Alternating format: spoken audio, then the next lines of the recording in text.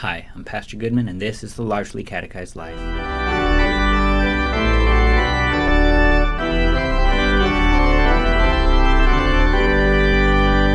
Okay, so in the fifth commandment, you shall not murder.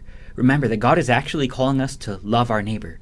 And that means that it's going to go deeper than just not stabbing or shooting people. See, I love my kids. And so if they're playing in traffic and I see a big truck barreling towards them, it's not enough to say, I'm not driving that truck, so it's fine if they get hit. That would that'd be bad.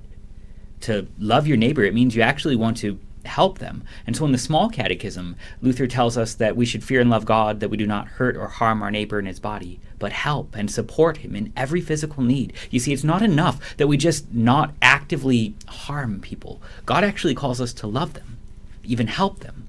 In the large catechism, he writes, Under this commandment, not only is he guilty who does evil to his neighbor, but he also who can do him good, prevent, resist evil, defend, and save him, so that no bodily harm or hurt happen to him, and yet does not do it.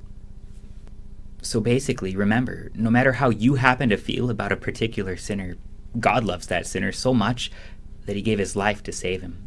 That means he calls you not just to feel nice about him, but actually help him, to help and support him in all of his physical needs. And that means that a lot of the Christian excuses go out the window. The idea that, well, I'll just, I'll pray for you, but I'm not actually going to help, that doesn't fly. It should actually be both. You should pray for your neighbor and help and support them in all of their physical needs. And remember, neighbor means everybody, just everybody who you happen to share this earth with, which means, well, we're sinners.